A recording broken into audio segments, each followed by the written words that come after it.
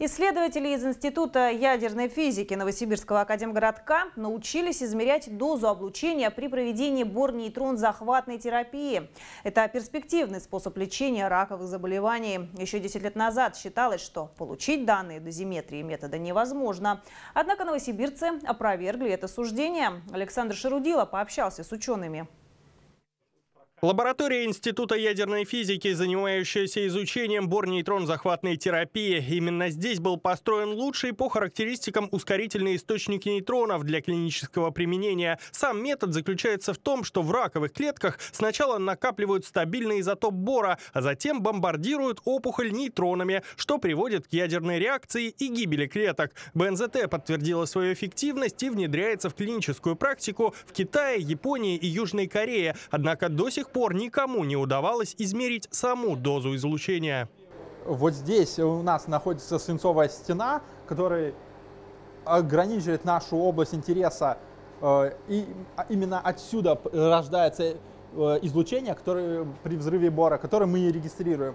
То есть излучение собирается детектором, который находится за той полутораметровой бетонной стеной, который считает соб количество событий, что соответствует количеству взрыв ядерных взрывов боров непосредственно внутри опухоли.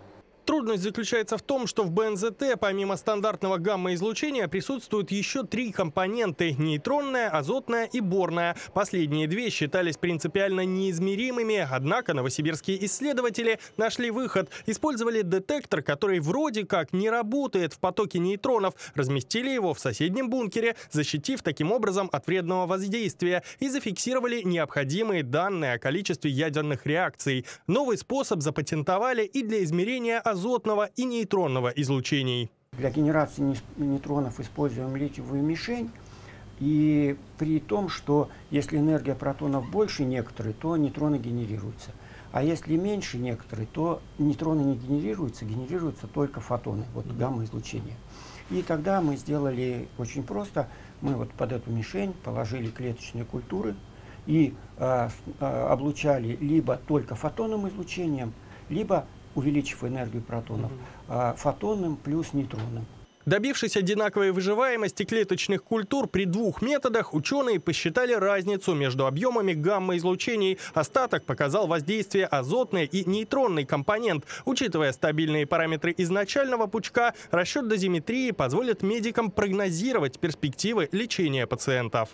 А вот соседний бункер. Здесь монтируют установку для онкоцентра имени Блохина в Москве. Уже смонтировали источник ионов. Далее здесь появится ускоритель. После того, как всю систему оттестируют на базе ЯФа, ее передадут заказчику уже в следующем году.